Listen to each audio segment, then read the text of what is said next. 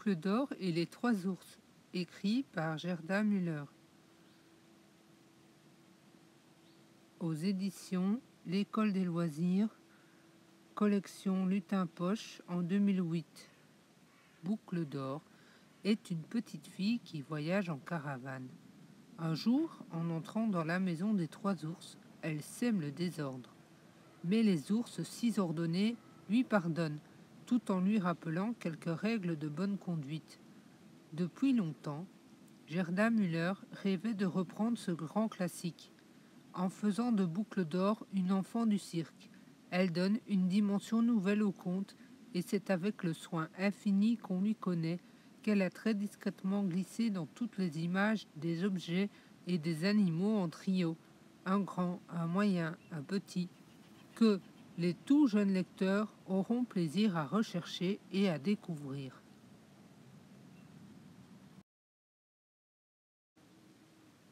Boucle d'or et les trois ours. Images et texte de l'auteur, Gerda Müller.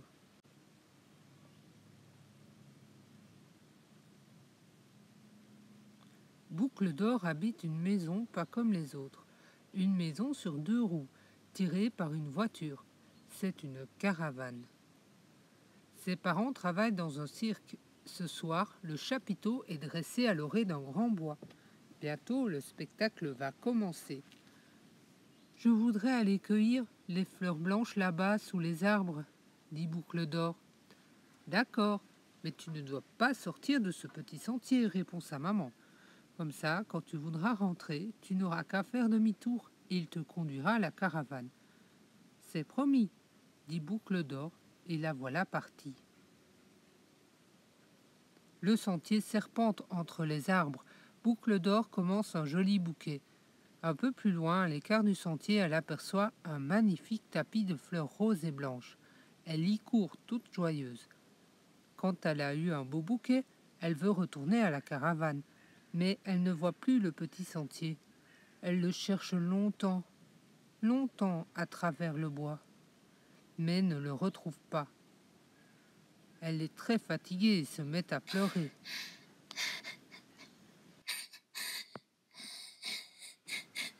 Quand soudain, une petite clairière s'ouvre devant elle. Et dans cette clairière, elle voit une drôle de maison avec une cheminée qui fume. Qui peut bien habiter là? se demande Boucle d'Or. Vite, elle sèche ses larmes et s'approche de la drôle de maison. En regardant à l'intérieur, par une petite fenêtre, elle voit. Une grande table avec tout autour trois chaises, une grande chaise, une moyenne chaise et une toute petite chaise, et devant chaque chaise un bol de soupe, un grand bol devant la grande chaise, un moyen bol devant la moyenne chaise et un tout petit bol devant la toute petite chaise. Boucle d'or sent la bonne odeur de la soupe. Elle a très faim, alors elle pousse la lourde porte et entre.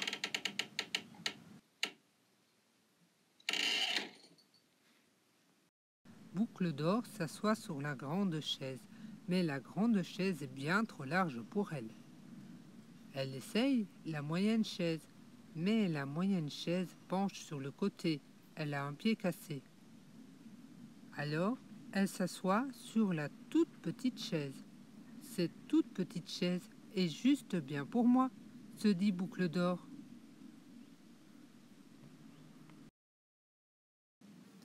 Maintenant, elle veut goûter un peu de soupe du grand bol. Mais, aïe, aïe, aïe, comme cette soupe est brûlante. Elle goûte la soupe du moyen bol. Oh non, cette soupe encore est bien trop chaude. Enfin, elle goûte la soupe du petit bol. Hum, cette soupe est délicieuse et juste bien pour moi, se dit Boucle d'Or.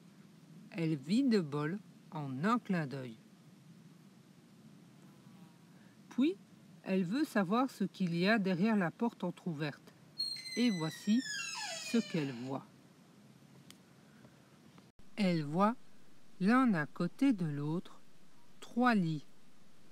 Un grand lit, un moyen lit et un tout petit lit.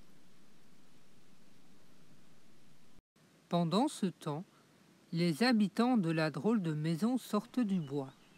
Ce sont trois ours. Un grand ours, une moyenne ours et un tout petit ours.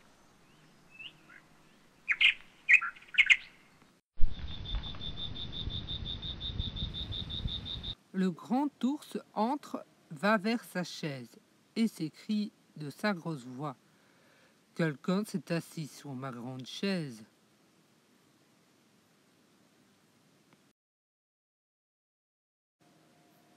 Et la maman ours d'une voix irritée s'écrie Quelqu'un a touché à ma moyenne chaise. Et le tout petit ours crie de sa voix, petite voix perçante Quelqu'un a renversé ma toute petite chaise. Puis le grand ours regarde son bol de soupe et dit de sa grosse voix Quelqu'un a touché à ma soupe? Puis la maman ours regarde sa cuillère et constate d'une voix fâchée Quelqu'un a voulu manger ma soupe?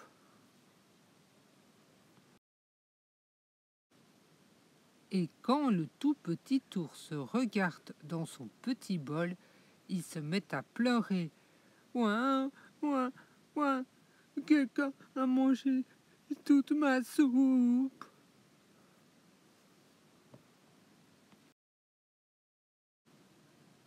Le grand ours, très mécontent, dit de sa grosse voix Venez, il faut chercher qui se cache dans notre maison.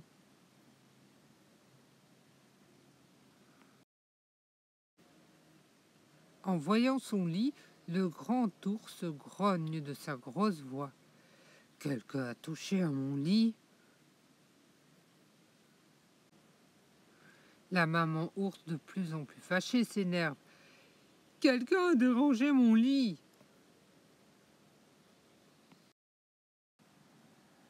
Et le tout petit ours crie de sa petite voix perçante.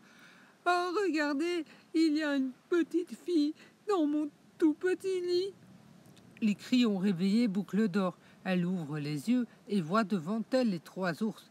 Alors, vite, elle sort du pied de lit, ramasse ses sandales, saute par la fenêtre et se met à courir.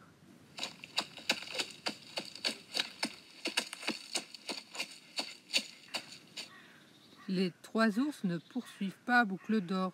Ils ne sont pas méchants, seulement très mécontents.